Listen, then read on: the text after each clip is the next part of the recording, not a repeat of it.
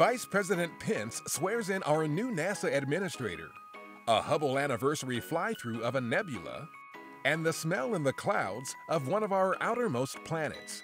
A few of the stories to tell you about this week at NASA. I, James Bridenstine, do solemnly swear. Jim Bridenstine officially took office as the 13th administrator of NASA on April 23rd after he was given the oath of office by Vice President Mike Pence at the agency's headquarters in Washington. Mission success depends on more than just resources alone. It requires leadership. You need clear, ambitious goals.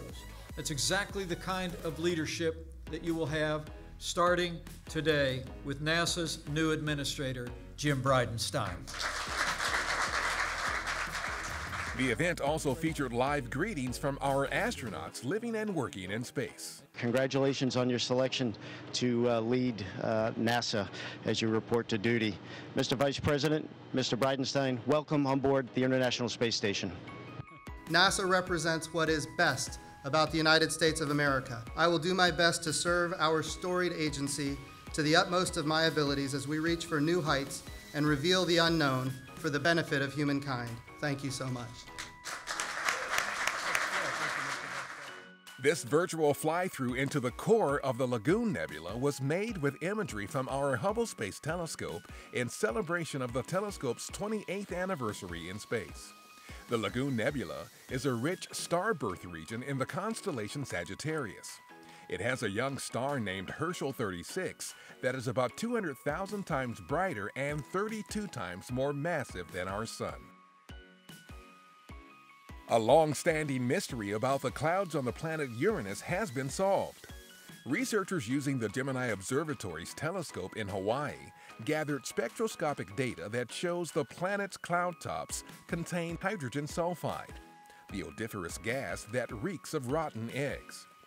Human visitors wouldn't have to worry about the stench, though. Exposure to the planet's extremely frigid and volatile atmosphere would take its toll long before the smell. The Mars Insight Roadshow is stopping at cities along the earthquake prone California coast to explain how our InSight robotic lander will study Mars's deep interior using seismology and other geophysical measurements.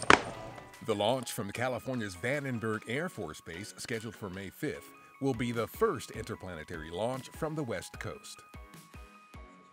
The U.S. Astronaut Hall of Fame inducted its two newest members on April 21st.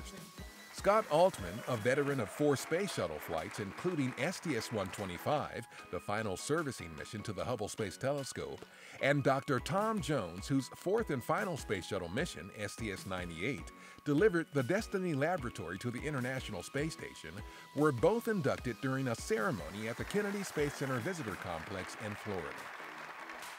That's what's up this week at NASA.